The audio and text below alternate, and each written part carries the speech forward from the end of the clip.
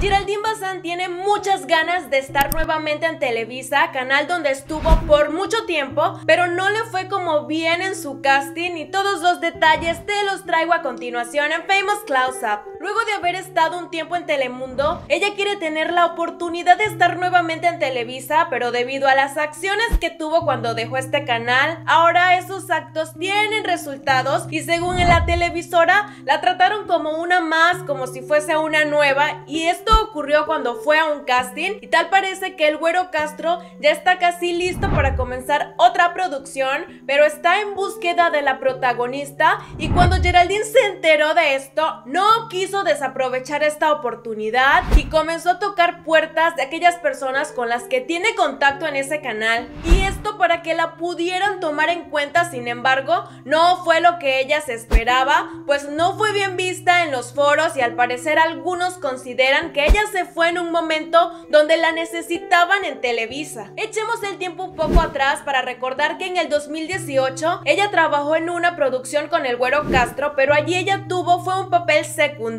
y esto no le agradó mucho porque quería un papel más principal. Ella se sintió mal por esto y lo que le dijeron era que tuviese un poco de paciencia y que tal vez en otra oportunidad la podrían considerar, pero ella no aguantó y aquí fue cuando dijo como una canción de Luis Fonsi, yo me voy, adiós, me fui y no me importa y se fue de Televisa porque quería seguir trabajando, pero este hecho incomodó a muchísimos directivos del canal porque era una de las pocas favoritas de ese canal en ese momento cuando estaban en aprietos. Cuando ella deja Televisa firma muy de pronto con Telemundo y ella estaba convencida por su experiencia y allí estuvo realizando algunas producciones, pero lamentablemente donde ella estaría participando, o sea, esas producciones no tuvieron el éxito que se esperaba y como quiere seguir en ese medio, volvió a México para intentar que le den otra oportunidad, sobre todo